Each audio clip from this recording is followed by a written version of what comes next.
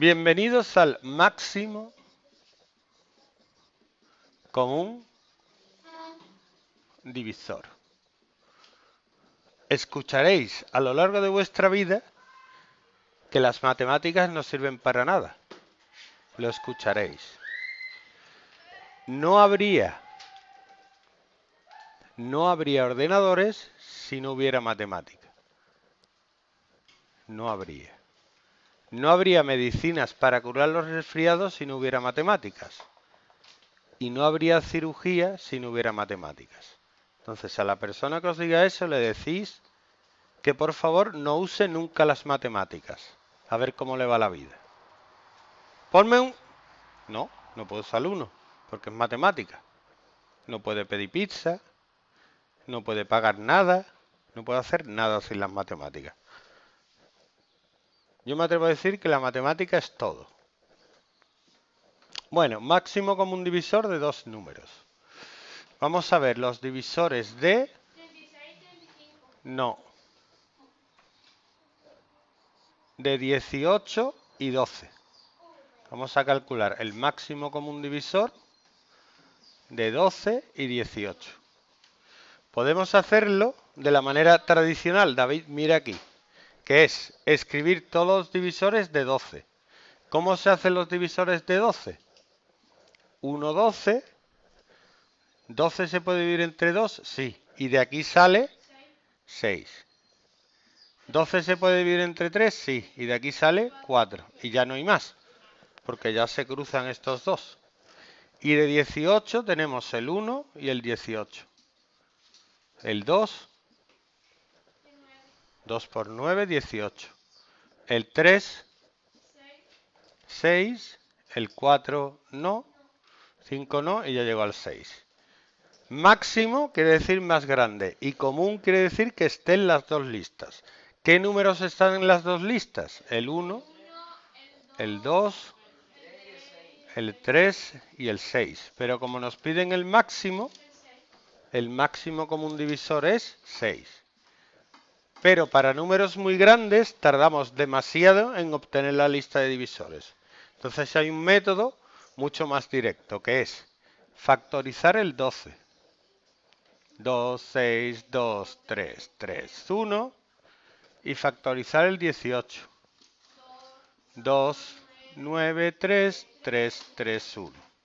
Y ahora se escriben los dos números factorizados. 2 al cuadrado por 3 por 3 al cuadrado. Y el máximo común divisor es coger los factores. Factores comunes al menor exponente. Quien no se acuerde que se acerque que se acuerde de la canción.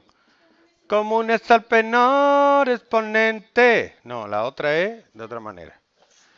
La de esta es comunes al menor exponente. Comunes al menor exponente.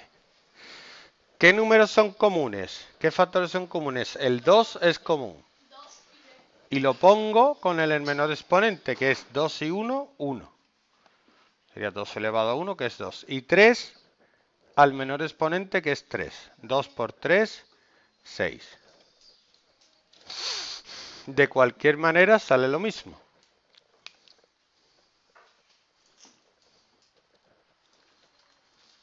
¿Qué hace que no lo habéis escrito?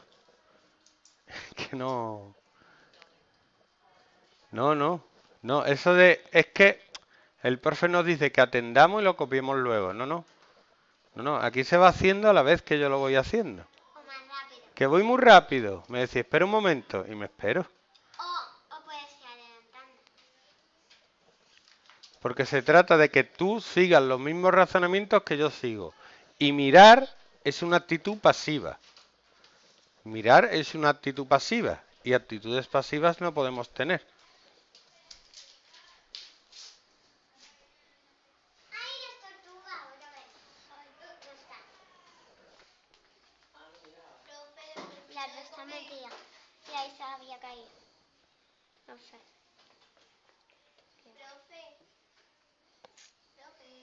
Las tortugas están durmiendo ahí.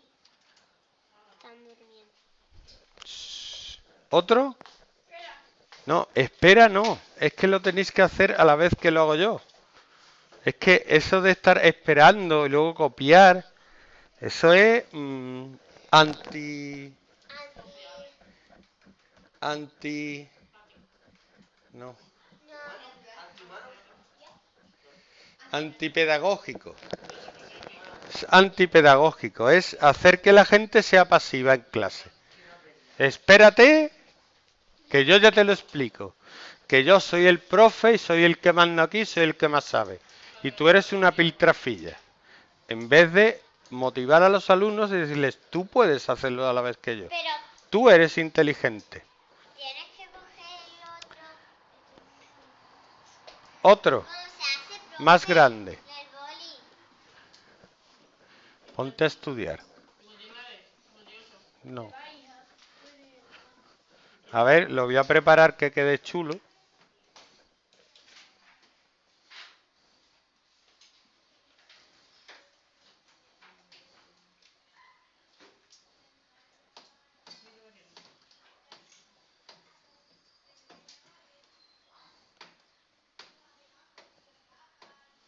Venga, hoy estoy 60 y 108. ¡Uh! ¡Qué número más raro, por Dios! El truco del 0, lo sabéis, 0 es 2 por 5.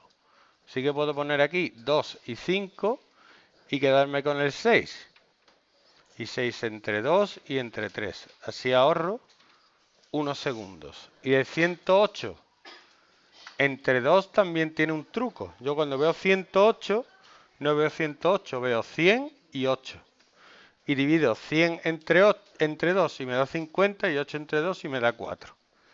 Esto es 54. 54 entre 2, hago el mismo truco, 25 entre 2, digo 50 entre 2 es 25 y 4 entre 2 es 2. Y 27 ya sabemos que es divisible entre 3. Y ahora me queda chan chan. Miedo, intriga, dolor de barriga. 2 al cuadrado por 3 por 5 y 2 al cuadrado por 3 al cubo. Entonces, ¿qué número es común? El 2. ¿Cuál es el menor exponente del 2? ¿Y el 3? Por tanto, el máximo común divisor de 60 y 108 es 12 porque 60 se puede dividir entre 12 y me da 5 y 108 se puede dividir entre 12 y me da 9. ¿Mm?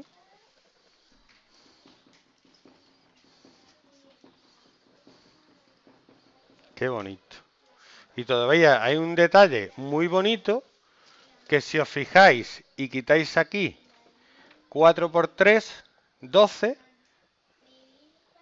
Lo voy a poner aquí. 2 al cuadrado por 3 por 5.